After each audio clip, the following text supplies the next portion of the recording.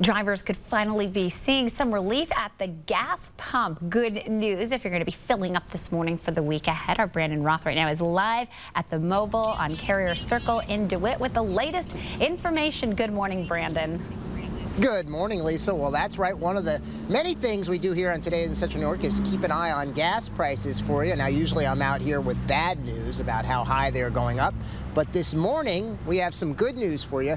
Gas prices are actually going down, so much so that we felt it was important to get out here and let you know they've actually gone down almost 10 cents a gallon in just the past week.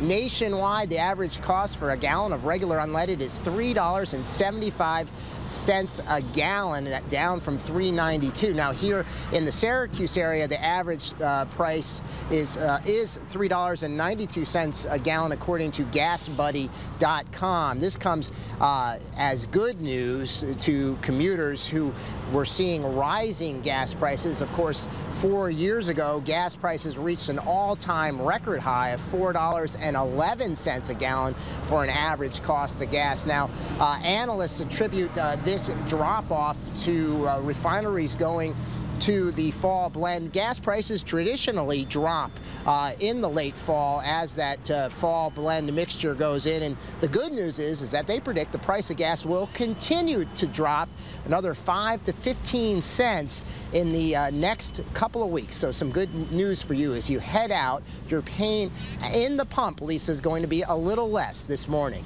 All right. Well, at least, Brandon, that's something positive. A good way to start off Monday that's morning right. is knowing that when you go to fill up, yeah, when you go to fill up your tank this morning, at least you'll be paying yeah. a little bit less because these days every little bit definitely helps, Brandon. Absolutely. That's right. All right. Well, Brandon Roth live in DeWitt this morning. Brandon, thank you so much. Thanks.